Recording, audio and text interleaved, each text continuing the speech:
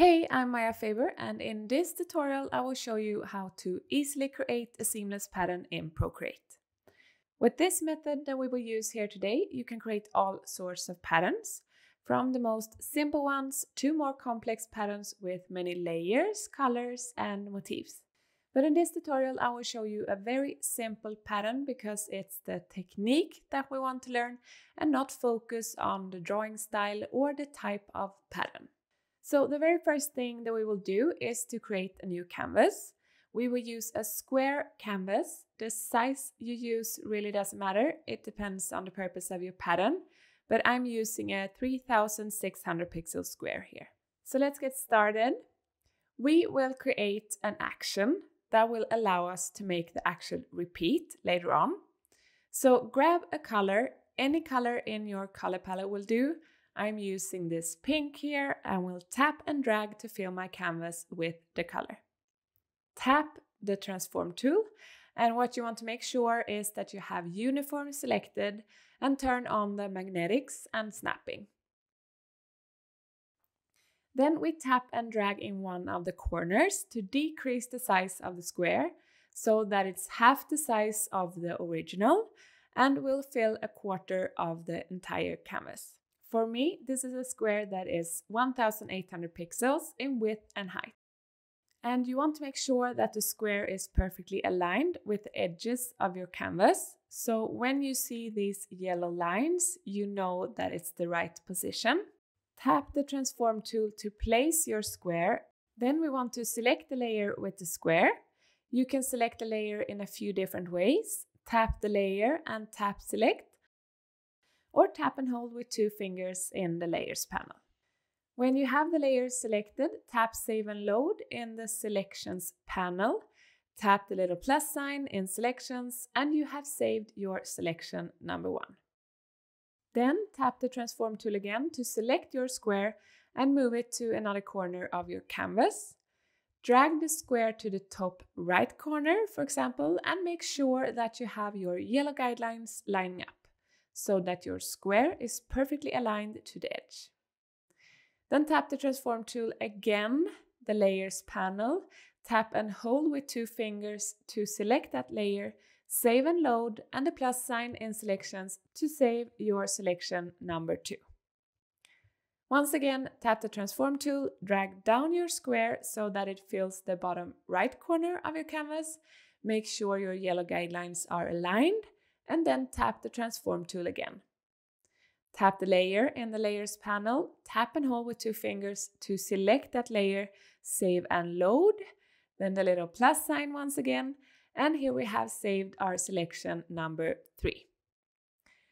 Lastly, tap the transform tool again, drag your square to the bottom left corner, tap the transform tool to deselect and the layers panel, tap and hold to select that layer, save and load in the selections tool the plus sign and you have saved selection number four. So now we have prepared to create the actual repeat of this pattern. What we can do now is just to clear this layer because we don't need that square anymore. So swipe to the right on the layer, tap clear to clear that layer. The first thing that I always do when I create a pattern is to add a background layer, a background box that fills the entire canvas. So I will do that with any type of color. Let's just go for a cream white for this example. Tap and drag to fill your layer with the color.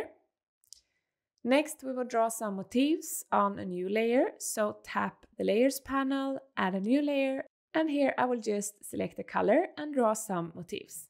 I always draw my motifs on a separate layer than my background, and I usually color separate the layers so that all motifs in one color are on one layer.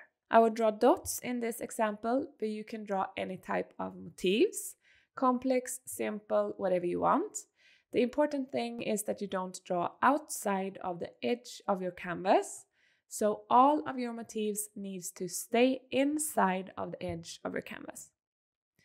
I'm drawing a few dots and then I will add a new layer just to show you that you can create even more complex patterns with more layers with this method. So with a new layer, I will select a color and then I will add some more motifs. And I will add a third layer with some more dots in another color. So with this method, you can really add as many layers as you wish in your pattern, or at least as many layers as your layer limit in Procreate will allow you to. But in this example, I have four layers, three with motifs separated in colors, and one background layer. When you have all of your layers, you select them. You can choose to group them if you want to, or you can select all the layers by tap and drag to the right to select them. I will group my layers here. Then we tap the selections panel to load selection number one. And with the transform tool selected, we tap flip vertical and flip horizontal. Tap the selections tool to deselect and then tap the selections tool again, selection number two, transform tool, flip vertical, flip horizontal. Once again, tap the selections tool to deselect, then tap the selections tool once again, load selection number three, with the transform tool, flip vertical and flip horizontal. And lastly, tap the selections tool to deselect and tap the selections tool once again to load selection 4, transform tool, flip vertical and flip horizontal. And here we actually have created our repeated pattern, but we want to make sure to fill out all of this empty space so that you can see where the pattern tile is repeated. If you have created motifs that has a clear direction, top and bottom, you will notice that your pattern is twisted around. So you can either turn around your canvas or as I usually do, tap the transform tool and tap rotate 45 degrees four times to get back to your original direction of your motifs. With the pattern repeated like this, I will start to draw some more motifs to fill the empty space.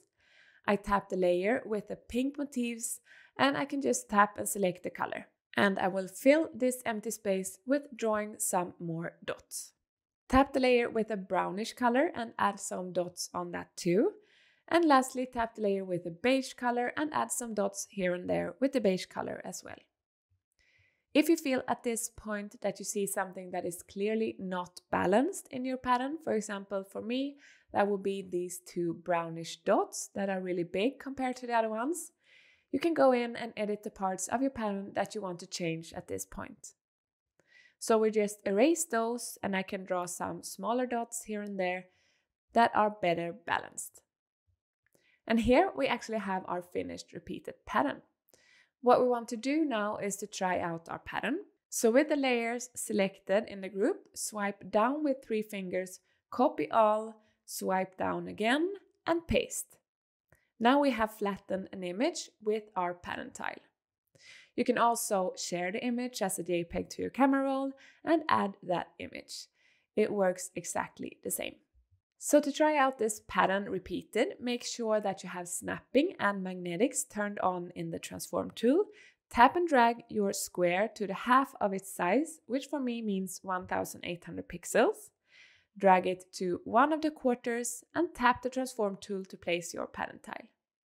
Then we'll make a duplicate of that layer, so swipe to the right in the layers panel on that layer to make a copy and tap and drag to the right to place your image next to each other on the canvas. Duplicate your image so that you have four squares, tap and drag to place them next to each other. Make sure that they are perfectly aligned with the yellow guidelines. And here you can see your finished repeated pattern. So this was a quick tutorial on how to create a seamless repeated pattern in Procreate. If you want to learn more from me and more about how to create patterns in Procreate, I have a bunch of Skillshare classes where you can learn much more in this area.